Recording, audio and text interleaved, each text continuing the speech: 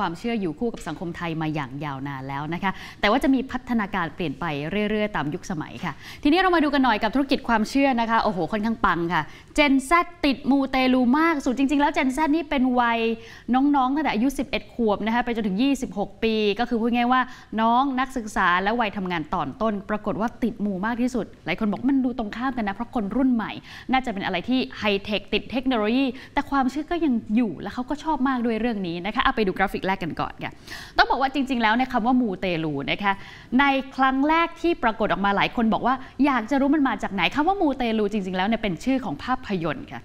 ภาพยนตร์สยองขวัญของอินโดนีเซีย เกี่ยวข้องกับเรื่องไสยศาสตร์นะคะของหญิงสองคนที่แย่งผู้ชายคนหนึ่งด้วยการใช้ไสยศาสตร์ แต่ทีนี้ค่ะเวลาก็ผ่านไปคำว่ามูเตลูก็มีพัฒนาการมากขึ้นมากขึ้นอย่างบ้านเรา ใช้คำว่ามูเตลูที่ในมุมมองที่จากแง่ลบแง่สัญญาศาสตร์นะคะกว้างมากขึ้น เป็นการรวมตัวของโหราศาสตร์ ความเชื่อ ความศรัทธา การไหว้สิ่งศักดิ์สิทธิ์การดูดวง หลาย ๆ อย่างที่เป็นความเกี่ยวข้องกับการเสริมมงคลให้กับชีวิต เป็นเรื่องของความเชื่อปัจจุบันใช้ในแง่นี้นะคะ ใจความที่เปลี่ยนไปมากยิ่งขึ้นก็คือในแง่บวกมากยิ่งขึ้น ดังนั้นจะเรียกคำว่าไปมูที่ไหน ไปไหว้ที่ไหน ไปเสริมดวงที่ไหนเขาจะรวม ๆ กันว่าไปมูกันนั่นเองรวมถึงดูดวงด้วยนะคะทีนี้ไปดูกราฟิกแรกที่เราบอกกันค่ะว่าธุรกิจนี้มีการเติบโตค่อนข้างที่จะดีในช่วงเวลาที่ผ่านมาไปดูยอด การจัดตั้งธุรกิจด้านความเชื่อและความศรัทธานะคะ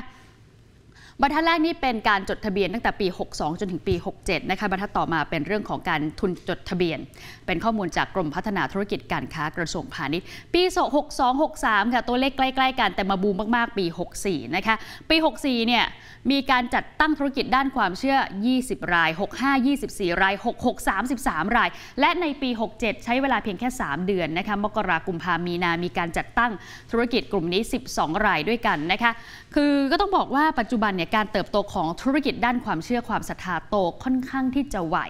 มีกูรูหลายท่านบอกก็ไปดูสิเมื่อไหร่ก็ตามที่มีความผันผวน ไม่ว่าจะเป็นเรื่องของสงครามในอดีตที่ผ่านมานะคะ หรือน่าจะเป็นเรื่องของความไม่มั่นใจ คนจะหาที่ยึดเหนี่ยวทางจิตใจ ธุรกิจเรื่องนี้ก็จะเติบโตได้ดีเหมือนกับครูบาอาจารย์สมัยก่อนก็มักจะบอกว่าเมื่อไหร่ก็ตามที่มีเรื่องของสงครามเกิดขึ้น มีเสียงระเบิดเมื่อไหร่ย้อนไปในยุคสงครามโลก วันนั้นคนจะตักบาตรกันเยอะมาก เครื่องยึดเหนี่ยวจิตใจมีมาตั้งแต่สมัยโบราณแล้วนะคะ แต่ทีนี้เรามาดูเรื่องของธุรกิจกันบ้างค่ะ การที่ธุรกิจเติบโตได้ดีแบบนี้นะคะ เราก็ต้องดูกันต่อว่า ในมุมมองของกรมธุรกิจการค้าเนี่ยนะคะเขามองอย่างไรกันบ้าง โดยทางด้านของคุณอรมนทรัพย์ทวีธรรมอธิบดีกรมพัฒนาธุรกิจการค้าพูดถึงเรื่องรื่องนี้อย่างไรติดตามกันค่ะ จะมีกิจกรรมนะคะที่สามารถตอบสนองนะคะในในธุรกิจสายมูนี้อาจจะเกิดจากการที่คนอาจจะมีความกังวลนะคะไม่ว่าจะเป็นเรื่องเงินทองสุขภาพหรือเรื่องอาชีพนะคะแล้วก็อาจจะจำเป็นต้องการสร้างขวัญและกำลังใจนะคะเพราะฉะนั้น ธุรกิจที่เกี่ยวข้องกับความเชื่อและความศรัทธานะคะหรือว่ามู marketing นะคะตอนนี้เราก็มองว่าเติบโตได้ดีนะคะเพราะว่าเป็นธุรกิจที่อาจจะทำให้ผู้บริโภคเนี่ยรู้สึกมีความมั่นใจมากขึ้นนะคะแล้วก็ตอนนี้เนี่ยขยายตัวไม่ว่าจะเป็นออฟไลน์หรือว่าออนไลน์นะคะเราก็จะเห็นมีกลุ่มอินฟลูเอนเซอร์นะคะหรือผู้เชี่ยวชาญทางด้านศาสตร์ ความเชื่อนะคะหรือว่าทางโหราศาสตร์เนี่ยมีการผลิตนะคะสินค้าและบริการเพื่อตอบสนองความต้องการของผู้บริโภคนะคะไม่ว่าจะเป็นอย่างเช่นวอลเปเปอร์หน้าจอโทรศัพท์มือถือนะคะอาจจะมีรูปสิ่งศักดิ์สิทธิ์นะคะหรือรูปไพ่หรือว่าเครื่องแต่งกายกระเป๋าของใช้ต่างๆนะคะสีมงคล เครื่องประดับ เครื่องสำอางเป็นต้นนะคะ เอาละดังนั้นเราจะคุยกันสั้น ๆ ว่าเรื่องของความ เชื่อนะคะมูเตลูหรือมูหลายคนไปมูแบบไหนกันบ้างนะคะ รูปแบบบริการและสินค้ามูเตลูที่น่าสนใจ แล้วก็ท็อปฮิตในปัจจุบันหนึ่งเลยดูดวง อยู่คู่กับสังคมไทยมานานมีหลากหลายรูปแบบนะคะ สมัยก่อนต้องไปเจอตัวกันนั่งที่โต๊ะไพ่ยิปซีดูลายมือ หรือจะเป็นศาสตร์จีนหมากรุกอูมีหลายแบบค่ะแม้กระทั่งมีแปลกๆ ดูใบไม้ทายด้วยหิน แต่ปัจจุบันเนี่ยโลกของเราเจอของโควิด -19 กันเข้าไป เราก็สามารถดูดวงออนไลน์กันได้นะคะ ใช้พวกแอปพลิเคชันต่าง ๆ ที่ทำให้เราเนี่ยได้เจอกันแม้ว่าตัวจะอยู่อยู่ไกลแต่เราสามารถพูดคุยกันได้ หรือแม้กระทั่งเห็นหน้ากันได้ แล้วก็คุยกับหมอดูนะคะ ดูดวงสนนราคาที่แตกต่างกันไปแล้วแต่เจ้าแล้วแต่ที่และความมีชื่อเสียงของหมอดู 2 คือเลขมงคลแล้วก็สีมงคลเห็นได้ชัดเลยนะคะ คือเลขโทรศัพท์มือถือทะเบียนรถยนต์นะคะ อันนี้หลายคนก็แหมอยากจะได้เลขมงคลยอมจ่ายตังค์หลักหมื่นหลักแสนก็มี 3. วัตถุมงคลกับเครื่องรางนะคะมีหลากหลายรูปแบบนะคะ แต่ว่าปัจจุบัน เครื่องรางหรือวัตถุมงคลจะถูกดัดแปลง ให้มีความเป็นแฟชั่นมากยิ่งขึ้นนะคะ ประเภทสามารถใส่ที่ข้อมือก็ได้ เอ๊ะ ดูดูเผินๆ เหมือนแค่เป็นการใส่สร้อยข้อมือแบบแฟชั่นนะคะแต่จริงๆ แล้วเป็นของที่ผ่านพิธีกรรมอะไรมาแล้วนะคะ เสริมมงคลกันแล้ว มีหลากหลายรูปแบบนะคะ ถ้าเป็นสมัยก่อนก็จะเป็นพวกตะกุดอะไรต่างๆ แต่ปัจจุบันเขาก็เอามาปรับให้เข้ากับคนยุคใหม่ โดยเฉพาะ Gen Z ที่นิยมเรื่องของวัตถุมงคลเครื่องรางเสริมตัวเองมากขึ้น สี่เมื่อกี้นะคะ คุยกันไปได้ยินถึงคำว่า wallpaper กับเคสโทรศัพท์ค่ะ เดี๋ยวนี้ก็มีบริการมากขึ้นนะคะ แม้กระทั่งล้ำไปว่าขอวันเดือนปีเกิดของคุณมา พอเอามาเซตเข้าสูตร แล้วก็ดีไซน์เป็น wallpaper ที่เสริมดวงชะตาที่เหมาะกับแต่ละคนอีกต่างหาก เดี๋ยวนี้เป็นแบบนี้ด้วยการนำเรื่องของ IT หรือเทคโนโลยีมาประยุกต์เข้ากับเรื่องของโหราศาสตร์ แล้วก็ดีไซน์ออกมาเป็น wallpaper ที่เหมาะกับแต่ละคนรวมถึงเคสโทรศัพท์นะคะก็ลองดูเคสของเพื่อนๆว่าเคสโทรศัพท์ของแต่ละคนเป็นยังไง หรือแม้กระทั่งการติดสติกเกอร์นะคะพวกยันต่างๆ ไปที่โทรศัพท์มือถือก็มีเหมือนกัน 5. ฮวงจุ้ยค่ะนะอันนี้จะเป็นการปรับสภาพแวดล้อมให้เข้ากับบ้านเรานะคะ ก็คือสถานที่บ้านหรือที่ทำงานก็จะมีซินแสเนี่ยไปยืน แล้วก็ดูดูซิว่าฮวงจุ้ยที่นี่ดีไหมดีหรือไม่ดีอย่างไรจะต้องแก้ไขแบบไหน ก็จะสนนราคาแล้วแต่ซินแสอีกนั่นแหละค่ะ ว่ามีชื่อเสียงมากน้อยแค่ไหนนะคะไปดูกันต่ออีกหนึ่งกราฟิกค่ะ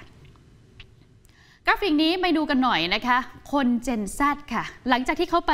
สำรวจมานะคะ ปรากฏว่าคนเจน Z เนี่ยค่อนข้างจะสนใจเรื่องของมูเตลู เพราะเดี๋ยวนี้เราสืบนะคะเขาเรียกอะไรนะ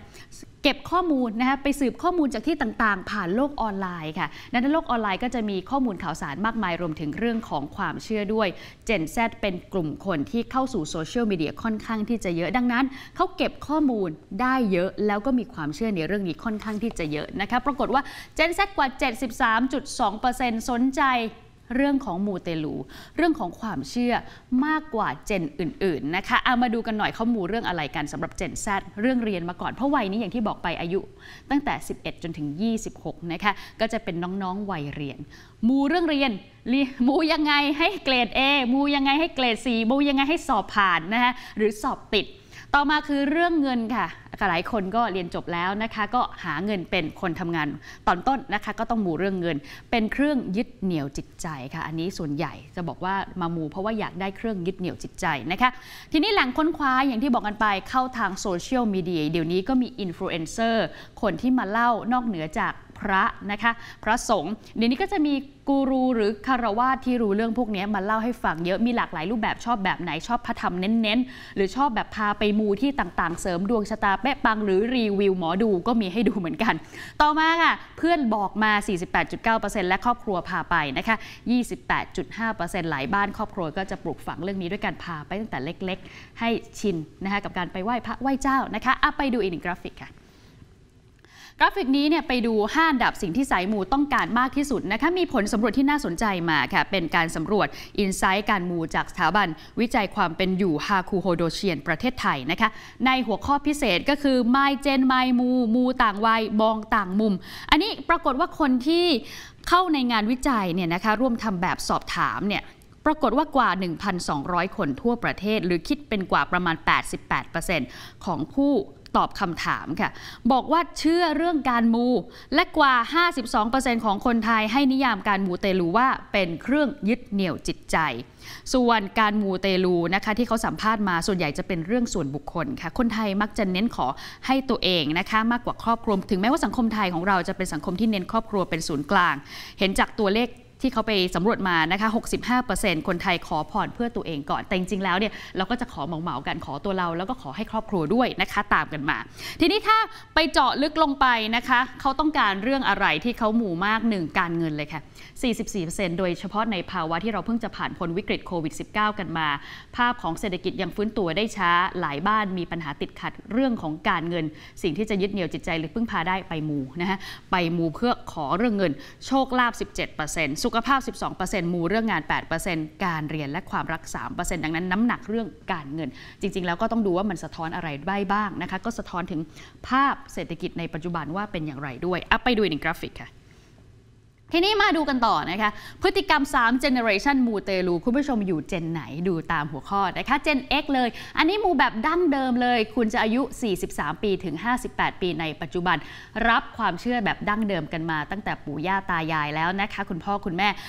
นิยมแบบดั้งเดิม สวดมนต์ไหว้พระทำบุญนะคะ เพื่อความสบายใจและด้วยประสบการณ์ที่คุณสั่งสมมามากมากขึ้นปุ๊บเนี่ยนะมันทำให้คุณมองเรื่องของสุขภาพเป็นสิ่งสำคัญนะคะ สุขภาพดีไว้ก่อนคุณจะทำอะไรก็สำเร็จ เพราะว่าถ้าหากว่ามีเงินมากมายแต่สุขภาพไม่ดี เงินก็หมดไปกับสุขภาพนั่นเองนะคะ ดังนั้นกลุ่มเจนนี้เนี่ยนะคะมูแบบดั้งเดิมเนี่ยจะส่วนใหญ่เน้นขอพรเพื่อสุขภาพนะคะ แล้วก็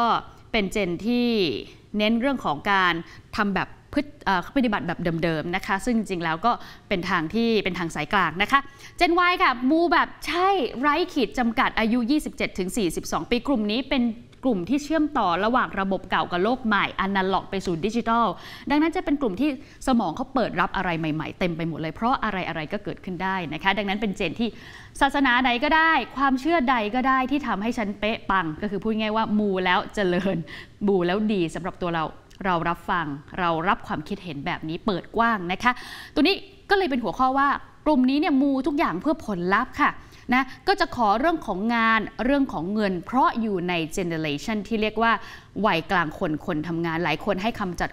จำกัดความของเจนวัยว่าเดอะแบกเดอะแบกคือมีคุณพ่อคุณแม่ที่ต้องดูแล แล้วก็มีครอบครัวของตัวเองที่ต้องดูแลด้วยนะคะ ดังนั้นเนี่ยมีภาระในการดูแลครอบครัวเขาก็เลยจะขอเรื่องของเงินกับงานเป็นหลัก ต่อมาค่ะGen Z น้องๆ หน่อยอายุ 11-26 ปีอย่างที่เล่าให้ฟังไปจะมู มูแบบมินิมอลนะคะ ก็จะเห็นตั้งแต่เสื้อผ้าสีมงคล เครื่องประดับวอลเปเปอร์โทรศัพท์มือถือนะคะ อะไรที่มัน adapt กับแฟชั่นได้น้องกลุ่มนี้ก็จะนิยมนะคะ จะขอพรเรื่องการงานและการเรียนอะไปดูอีกหนึ่งกราฟิกค่ะกราฟิกนี้พาไปดูกันต่อนะคะ อันดับการมูเจนแซค่ะที่ได้รับความนิยมเลยทีเดียวนะคะ มีข้อมูลมาเพิ่มเติมว่า จากการสำรวจของทางด้านอัสมชัญนะคะ AU p o เนี่ย กว่า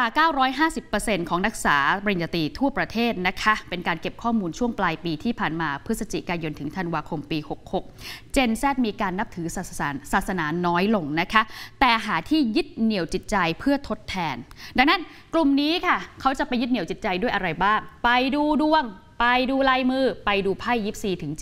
77%อธิษฐานขอพร 72%ไหว้สิ่งศักดิ์สิทธิ์ 69%มูสีมงคล 60%แล้วก็มูเลขมงคลอีก 46%ด้วยกัน ความถี่ละเป็นยังไงอย่างน้อยเลยเนี่ยปีละครั้ง 28%กลุ่มที่ตอบแบบสอบถาม มู2-3 เดือนครั้งหนึ่ง20.7%มูอย่างน้อยเดือนละครั้ง 16.4%ด้วยกัน ไปดูอีกกราฟิกค่ะ ทีนี้มูเตลูยังเกี่ยวข้องกับธุรกิจการท่องเที่ยวนะคะ เดี๋ยวนี้เราก็จะเห็นเรื่องของ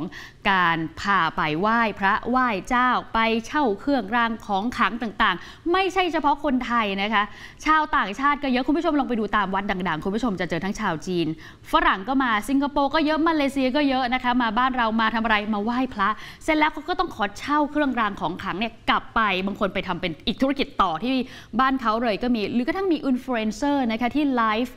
ขายพวกเครื่องรางของขลังพระเครื่องไทยเนี่ยขายไปยังประเทศจีน แล้วก็สามารถขายได้ขายดิบขายดีดังนั้นเรื่องของความเชื่อไม่ใช่เรื่องเล่นๆนะคะคนยังมีความเชื่ออยู่ไม่ใช่เฉพาะประเทศไทย ตัวเลขมูลค่าการท่องเที่ยวสายมูในไทยนะคะปี 62 อยู่สักประมาณ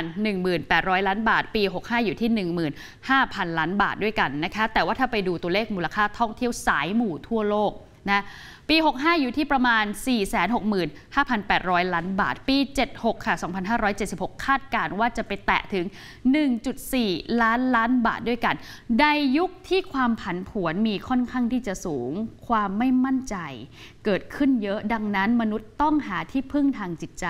หาที่ยึดเหนี่ยวทางจิตใจเป็นสำคัญนะคะ มูได้ค่ะ แต่ว่าต้องเป็นการมูอย่างมีสติ ต้องคิดว่าทำไปแล้ว ดีกับเราอย่างไรนะคะ บางคนเสียเงินมากมายค่ะ แต่ว่าจิตใจยังหาที่พึ่งไม่ได้ก็ต้องหาที่พึ่งที่แข็งแกร่งที่ดีที่สุด หรือบางคนบอกนึกง่ายๆนะคะ อยากจะมูก็นิ่งๆก่อนมีสติอย่าเพิ่งไปตามกระแสกันมาก แต่อันนี้ก็เป็นอีกหนึ่งเรื่องนะคะที่มีมาฝากกันสำหรับอีกหนึ่งธุรกิจความเชื่อสายมูค่ะและถ้าลองเชื่อมโยงมาดีๆนะครับกับเศรษฐกิจสร้างสรรค์ที่เรามีคนเก่งๆ อยู่เยอะ รวมถึงโอกาสของเศรษฐกิจดิจิทัลก็น่าจะทำให้โอกาสของธุรกิจนี้ดีขึ้น แต่ต้องไม่ลืมนะครับว่าลิขิตฟ้าหรือจะสู้มานะตนครับ ขอบคุณสำหรับการติดตามรับชมรายการเศรษฐกิจ Insight นะคะ คุณผู้ชมอย่าลืมค่ะ กด subscribe กดกระดิ่ง กดไลค์ กดแชร์ในทุกช่องทางออนไลน์ของ TNN ช่อง 16 นะคะ แค่นี้คุณผู้ชมก็จะไม่พลาดรายการสดและก็คลิปดีๆมากมายค่ะ